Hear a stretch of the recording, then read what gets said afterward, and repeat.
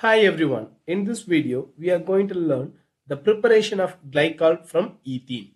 That is we are going to prepare ethylene glycol from ethylene. Let's write the structure for ethylene first.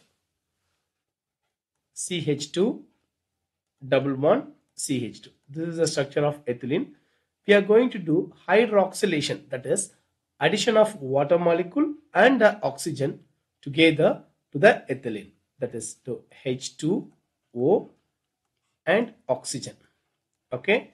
In the presence of cold alkaline potassium permanganate which is known as Baeyer's reagent.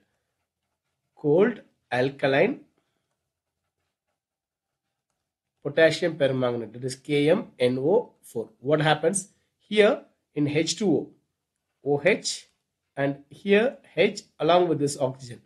Along with this oxygen these two will get attached here and this OH will get attached here. What we get? CH2 OH and here CH2 OH. Okay, that is the addition of water molecule and the oxygen to the ethylene. We get ethylene glycol. Let's write the name for the structures. This is ethylene which is also called as ethene, the IUPAC name, hydroxylation. Okay, addition of water molecule and oxygen to this ethylene, we get ethylene glycol.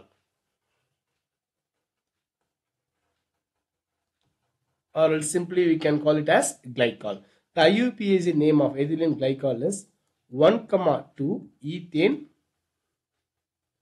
diol or else ethane 1, comma 2 diol. Let's summarize the reaction. The hydroxylation of ethylene using cold alkaline solution of potassium permanganate that is Baeyer's reagent gives ethylene glycol as the product. Thank you.